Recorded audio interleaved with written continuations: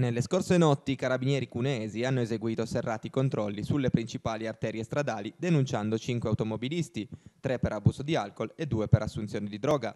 Nel dettaglio a Cuneo un operaio 25enne è stato sorpreso mentre percorreva il centrale Corso Nizza alla guida della sua auto, sbandando vistosamente.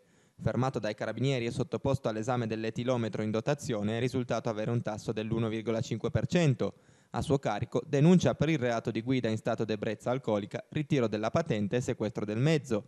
A Savigliano i carabinieri hanno fermato lungo la strada che conduce a Racconigi un 45enne di Moncaglieri che sottoposto su strada all'alcol test ha riscontrato un tasso di alcolemia da record pari a 2,8%, quasi sei volte superiore ai limiti di legge.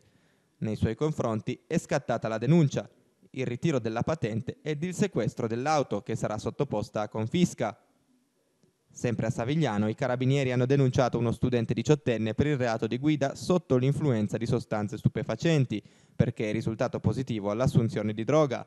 Per lui anche l'immediato ritiro della patente, con decurtazione doppia dei punti essendo neopatentato, e sequestro dell'auto.